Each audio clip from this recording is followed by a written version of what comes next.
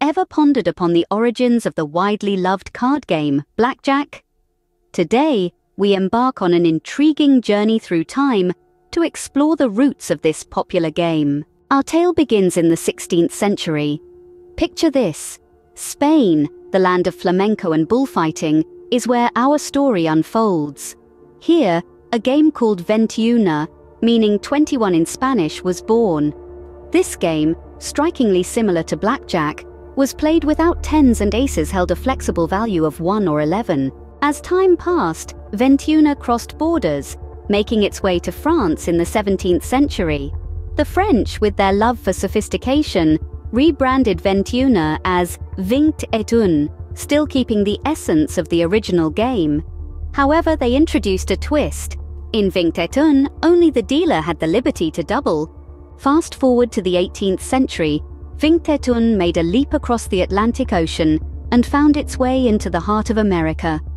The game was a hit in the gambling dens of New Orleans. However, in order to attract more players, gambling houses introduced special payouts, one of which was a 10 to 1 payout if the player's hand consisted of the ace of spades and a black jack.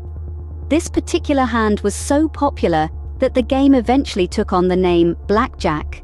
Despite the special payout being withdrawn later, the name blackjack stuck and has been used ever since.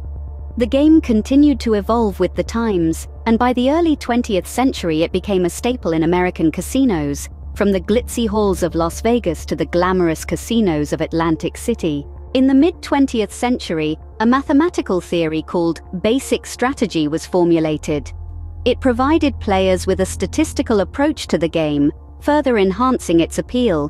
This strategy, coupled with the advent of card counting, turned the tables in favor of the players, making blackjack not just a game of luck, but also of skill.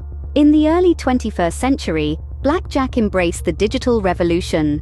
With the rise of online casinos, the game became accessible to millions worldwide, right from the comfort of their homes. So, to summarize, the game of blackjack has a rich history that spans over four centuries. Originating as Veintiuna in Spain, it traveled to France where it was known as Vingt et Un, then to America where it acquired its current name, blackjack.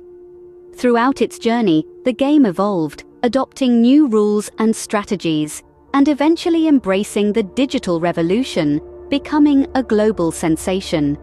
Remember, every time you shuffle that deck and deal those cards, you're not just playing a game, you're partaking in a centuries old tradition. Now, isn't that something to think about the next time you call blackjack?